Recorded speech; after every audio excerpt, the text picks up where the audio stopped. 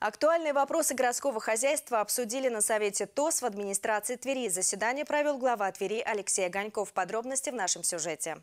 Такие встречи проходят в администрации каждые три месяца. Темы для обсуждения всегда разные. На этой встрече заместитель начальника Главного управления Государственной жилищной инспекции Тверской области Алексей Хренов рассказал общественникам, как проводить собрания жильцов в многоквартирных домах в электронном формате через систему ГИС ЖКХ.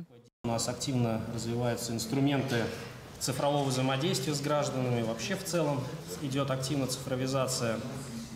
Э, утверждены стратегии цифровой трансформации. Реализация она осуществлена на базе ГИЖКХ системы. Все мы с ней знакомы, все мы ее знаем. А что она позволяет? Осуществлять непосредственно голосование, размещать уведомления о собрании и уведомлять собственников о проведении собрания. Еще одной темой обсуждения стала презентация проекта фонда Твери «Бабушка, я рядом». В рамках этой программы создана служба поддержки, наставники которых будут помогать пенсионерам справляться с бытовыми трудностями. В службу сможет позвонить любой пожилой человек – и узнать интересующую его информацию. А, сможет оставить заявку на оказание либо единичной помощи, либо а, регулярной.